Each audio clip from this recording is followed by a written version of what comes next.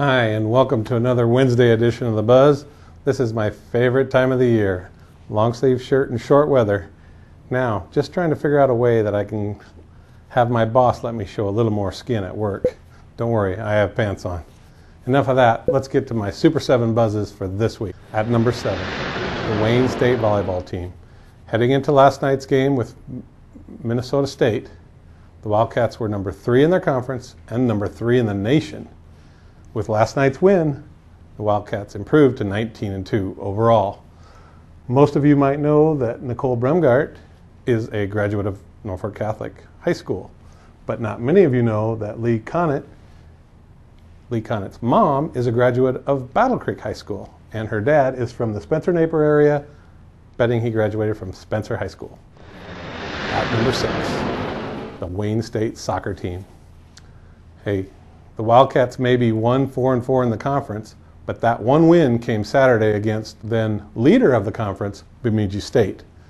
The Wildcats are now five, five, and four overall this year. Hey, that's a big jump from a program that has won just six games over the past three seasons. Congratulations to second year coach Molly Grisham for having the Wildcats headed in the right direction. At number five, the Norfolk High tennis team. The Panthers recorded the best finish at state under Kelly Kruger's 12 year 12 years as coach. Their seventh place finish is the best since a 10th place finish back in the year 2000. Members of the team are number one singles Caleb Krackemeyer, number two singles Jackson Kuby, number one doubles Cody Shantz and Eric Buskell, and number two doubles Ethan Calvert and Drew Dudley.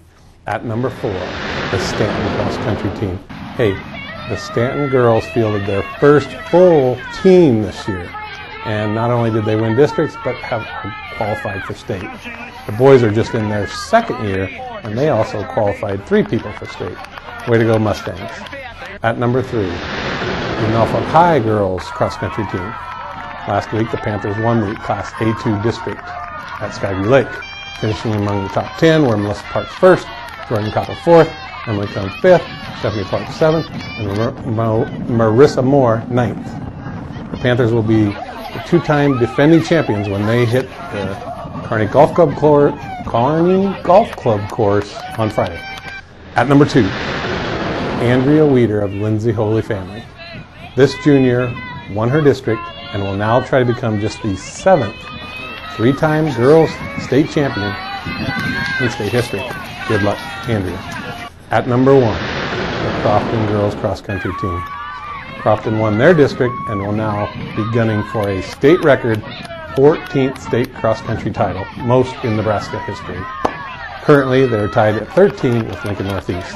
So go get them, Crofton. Bring us back that 14th state title. Hey, be sure to check out Tom Beamer's Thursday edition of The Buzz. Well, he'll, he'll run down his latest top 10 football polls. For NorfolkDailyNews.com, I'm Jay Prauner.